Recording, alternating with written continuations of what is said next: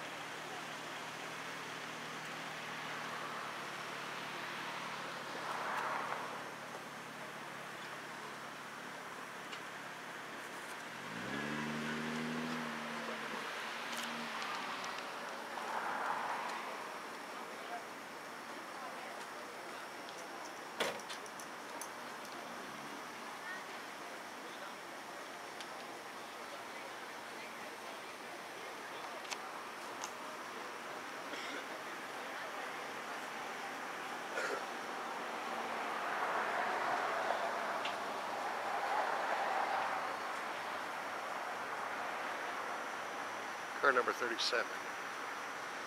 And the other one, Pantego, I don't know.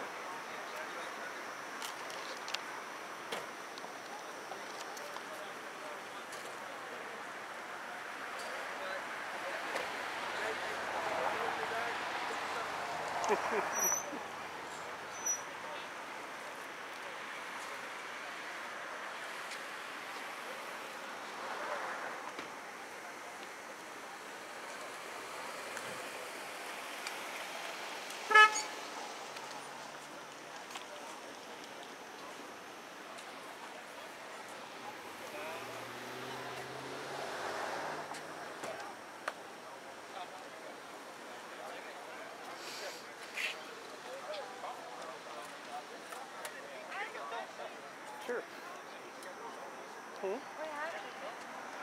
They pulled the guy over and questioned him and didn't arrest him. I didn't even see him give him a ticket. Don't consent to. Searches. Holding up a sign where he can read it. Just a reminder. You don't have consent to any kind of search. If they have a right to search, they'll do it without your It's consent. just some random people that came to let people know, like, Well, ten of us film police and okay. you know, try to keep them honest. Try to inform people of their rights. More people have come over from the cafe, which is fine. Even oh, some are pulling out Oh, phones and filming. there, so I was just trying to Okay. see what happened. No, well, they're talking to the guy in the car over there, finding out what started it. But